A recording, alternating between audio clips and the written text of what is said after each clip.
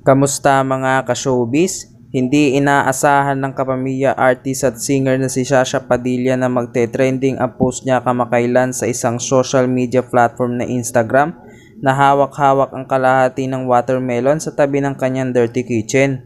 Isang netizen nga ang agad-agad nakapansin at nag-comment about sa napaka-unorganized at napakadaming dirty kitchen ni Sasha Padilla. Pati ang washing machine na nakalagay sa dirty kitchen ay di rin pinalagpas ng netizen.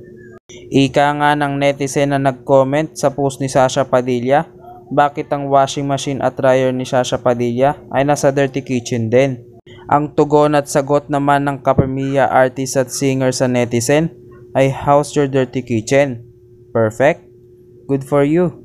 Yan ang maaanghang at may init na tugon ni Sasha Padilla patungkol sa netizen na bumabati ko sa dirty kitchen niya. At ito rin ang naging dahilan kung bakit ipinasilip ni Sasha Padilla ang actual niyang dirty kitchen sa netizen.